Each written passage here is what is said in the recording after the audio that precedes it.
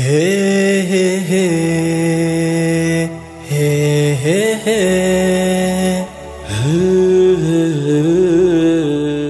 الله الرحمن الرحيم. السلام عليكم ورحمة الله وبركاته.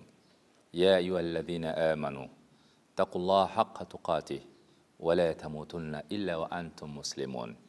وبعد إن أحسن الحديث كتاب الله وخير الهدي هادي محمد صلى الله عليه وسلم وشر الأمور محدثاتها وكل محدثة بدعة وكل بدعة ضلالة وكل ضلالة في النار. رب اشرح لي صدري ويسر لي أمري واحلل عقدة من لساني يفقه قولي. وبعد. Wapendwa watazamaji wa africa tv karibuni tena kwa mara nyingine katika kipindi chetu kizuri kabisa cha ndani ya ramadhani kinachojulikana kama Nafahatu Ramadhania, kwa maana ya mazuri yanayopatikana ndani ya mwezi mtukufu wa Ramadhani. Ni mengi na hayo mazuri hayo hatuyakusudii tu pengine yafanyike katika mwezi wa Ramadhani, bali hayo yanafanyika katika siku zote na mara zote, na wengine baadhi inawezekana yakawa tu ndani ya Ramadhani. Kwa mara nyingine tena tunapenda tuzungumzie kuhusiana na at-tarawih, swala ya sunna almustahabba.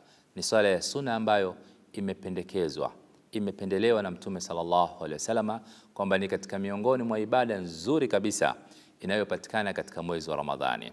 Pengine katika miezi mingine hii inaweza kuitwa ni qiyamul layli, kwa maana ni kisimamo cha usiku, lakini mwezi wa Ramadhani inapewa hili jina la tarawih kwa maana inafanyika usiku, hali kadhalika baada ya swala ya Isha ambayo hata qiyamul layli imekuja katika sheria, kwa maana unaweza kusimama nyakati hizo ukawa ni mwenye kufanya ibada usiku huo.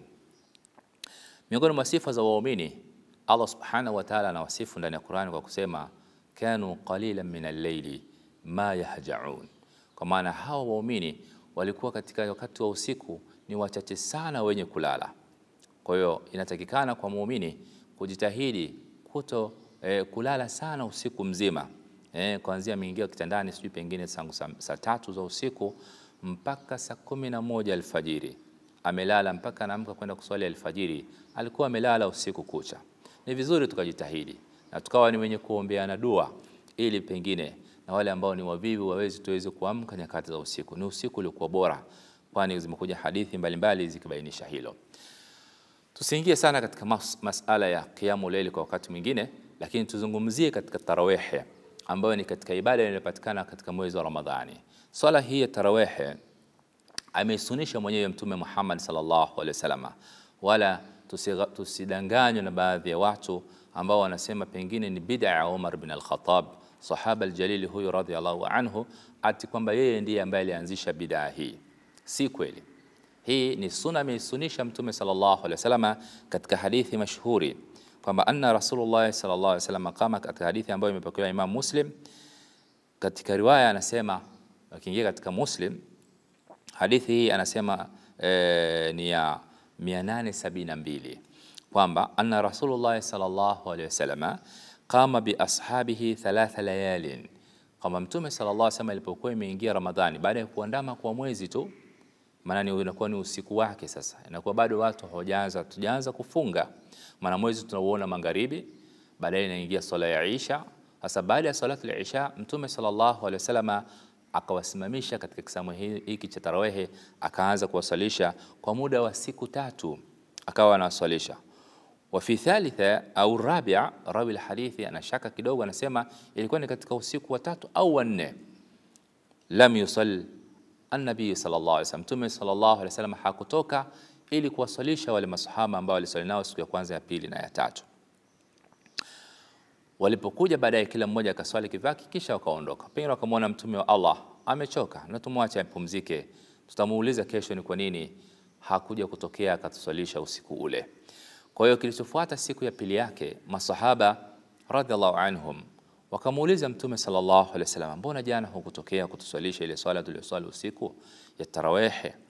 Faqala nabii sallallahu alaihi wasallam, inni khashitu an tufradha alaikum, mimi nimechelea msije mkafaradhishiwa, ndio maana sikutoka. Hiyo hadithi rawahu al-Bukhari, ambayo ni hadithi 872. Imamu al-Bukhari Kwa hiyo ni bayana ya kwamba Mtume sallallahu alaihi wasallam alifaradhi alisunisha yeye katika usiku wa Ramadhani. Kwa hiyo inaonekana kwamba katika hali ya ufahamu wake na wahi ulivyokuwa ukishuka, kama angeongeza siku nyingine ya tano, ya sita, ya saba na kuendelea, ingefaradhishwa kwetu sisi, na kama ilivyokuja katika riwaya ya Imam Muslim akasema Mtume sallallahu alaihi wasallam akaongeza maneno baada ya kusema walakinni khashitu an tufrida alaykum salata al-layli fatajazu anha. Unaona, hadithi hiyo ni Imam Muslim katika nambari 1271.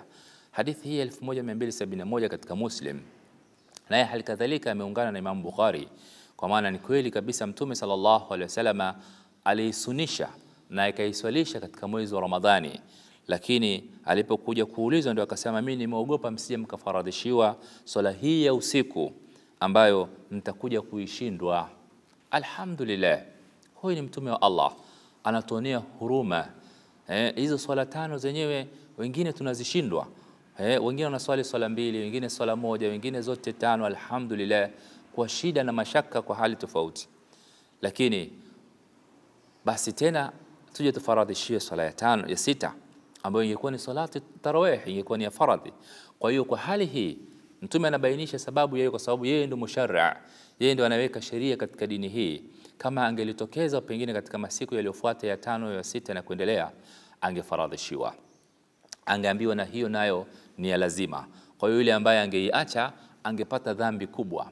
Kwa hiyo si kweli kwamba ni Umar bin al-Khattab radhiallahu anhu ambaye ndiye aliye huishi au aliyeanzisha sunna hii kama ambavyo wanadai baadhi wanaomchukia Umar ibn al-Khattabi na wasioelewa masala ya kisunna. Lakini ukweli ni kwamba Mtume SAW alifanya hivyo. Kwa hiyo Mtume hakuendelea baada ya siku ya nne ya tano kama inavyosemekana katika hadithi mpaka akaondoka duniani. Zama za Abubakar Siddiq, naye hali kadhalika hakusalisha salati tarawih. Kwa hiyo alipokuja zama za Umar ibn al-Khattab akahuisha, na ndio maana katika maneno ya Umar ibn al-Khattab akasema ni'matul bid'ati hadhihi, kwa maana ni, ni bid'a iliyokuwa nzuri, sio kwa maana ya kuanzisha bid'a hapa, kwa maana man ahya sunnati, yule ambaye atakayehuisha sunna yangu baada ya kuwa imesahulika kwa watu, ana ujira mfano wa wale wenye kufanya. Kwa hiyo Umar bin al-Khattab kwa kukumbukia jambo hili kwamba zama za Mtume sallallahu alaihi wasallam alitusalisha swala hii. Kwa hiyo vipi, kwa nini sisi nasi tusiifanye hivi sasa? Kwa hiyo akaihuisha, akakusanya watu msikitini, akiwa ni khalifa wa umma wa Kiislamu na kiongozi wa umma huu wa Kiislamu, akawakusanyisha watu kama Mtume sallallahu alaihi wasallam alivyowakusanyisha mara ya kwanza. Kwa hiyo yeye naye akawakusanyisha kwa mara hii, baada ya kupita fitra hii, kipindi hichi chake yeye Mtume kwa, kwa muda mchache, na baada ya Abubakar Siddiq, yeye akaanzisha kwa maana kuhuisha jambo hili ambalo Mtume sallallahu alaihi wasallam ndiye ambaye aliasisi, na kwa sababu ya Umar bin al-Khattab sio mtume wa Allah yeye hawasiliani na Allah wala Jibril alayhi salamu hashuki kwake yeye, kwa hiyo lisingeweza kufaradhishwa tena. Kwa hiyo akalihuisha hivyo, na alhamdulillah ahlu sunna wal jamaa leo hii limedumu katika ulimwengu wa Kiislamu kama ambavyo tunaendelea mpaka zama zetu za leo. Sasa je, swala hii inaswaliwa rakaa ngapi? Kuna khilafu ya wanachuoni kidogo eh, lakini usahihi ni kwamba Mtume sallallahu alaihi wasallam katika hadithi ambayo imepokea mama ameitoa mama Aisha anaeleza anasema, hakika Mtume sallallahu alaihi wasallam hakuzadhani na nje ya Ramadhani, kwa maana ya kwamba Mtume sallallahu alaihi wasallam alikuwa akiswali rakaa nane kisha anaswali rakaa tatu zinakuwa kumi na moja. Na mama Aisha radhiallahu anha alipoulizwa vipi sifa hii sala ya Mtume ilikuwaje, anasema usiulize kwa ule uzuri wake, la tasal. Usiulize ule uzuri wa swala ya Mtume sallallahu alaihi wasallam ilikuwaje.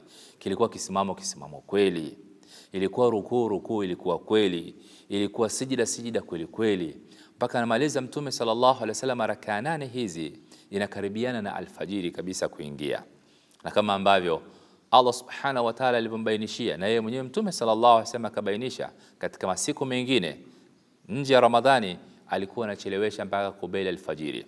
Kwa maana Allah subhanahu wa ta'ala katika hadithi ya Mtume anasema kwamba Allah subhanahu wa ta'ala hushuka mpaka katika wingu wa kwanza, akiuliza nani katika waja wangu ambao wananiomba msamaha ni wasamehe, ambao wana shida zao wananiomba niwatatulie niwatatulie. ni watatulie. Basi usiku huo ndio usiku anaoshuka Allah subhanahu wa ta'ala. Kwa hiyo anamuitikia anayetaka, na anamwacha bila kumuitikia pengine maombi yake kwa kadri Allah subhanahu wa ta'ala mwenyewe anavyojua kwa hikma zake basi anamuitikia mtu vile anavyojua yeye, lakini inakuwa ni ule usiku wa mwisho, thuluthul akhiri min al-layli, kwa maana ule usiku ulikuwa akiugawanya mara tatu. Kwa ule usiku wa mwisho katika fungu la tatu, pengine katika mahesabu ni kuanzia saa tisa za usiku na kuendelea. Kwa hiyo katika swala ya tarawehe tusiswali haraka haraka, pengine kwa sababu tunataka tukamilishe idadi, kama ambavyo wenzetu wengine wanaswali rakaa ishirini.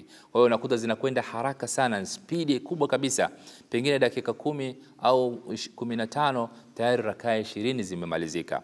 Alafu watu wanafanya kelele, wanafanya vurugu misikitini, sauti za adhkari zinanyanyuliwa kwenda juu kabisa. Hakika Allah subhanahu wa ta'ala hili halipendi, tunatakiwa tufanye kwa khushu'. Ud'u rabbakum tadarruan wa khufya kwamba muombeni Mola wenu kwa unyenyekevu na kwa kimya, kwa sababu yeye anasikia na yupo karibu na sisi, kama ilivyokuja katika mafundisho ya Mtume sallallahu alaihi wasallam alipoulizwa kuhusiana na Allah yuko wapi, akasema yupo karibu. Ndio Mwenyezi Mungu subhanahu wa ta'ala akajibu kabisa, wala hakujibu Mtume sallallahu alaihi wasallam, wa idha sa'alaka ibadi anni fa inni qaribun ujibu da'wata da'i idha da'ani falyastajibu li wa liyu'minu bi la'allahum yurshidun, kwa maana kwamba wanakuuliza waja wangu kuhusiana mimi, waambie mimi nipo karibu sana na wao kuliko hata mshipo wa uhai wao. Kwa hiyo hakuna haja ya kumpigia Allah kelele. Kwa hiyo tuswali hizi rakaa nane na rakaa tatu za witri, biidhnillahi tutakuwa tumemwiga Mtume sallallahu alaihi wasallam na tuziswali vizuri mpaka hapo tutakuwa tumemaliza tarawih yetu vizuri katika mwezi huu mtukufu wa Ramadhani, biidhnillahi tabaraka wa taala. Tupate nafasi, tutakutana tena kwa mara nyingine kwa ajili ya kupata hizi nafahatu ramadhania biidhnillahi tabaraka wa taala. Tunasema subhanaka allahumma bihamdik ashhadu an la ilaha illa anta astaghfiruka wa atubu ilaik. Assalamu alaikum wa rahmatullahi wa barakatuh. Hey, hey, hey.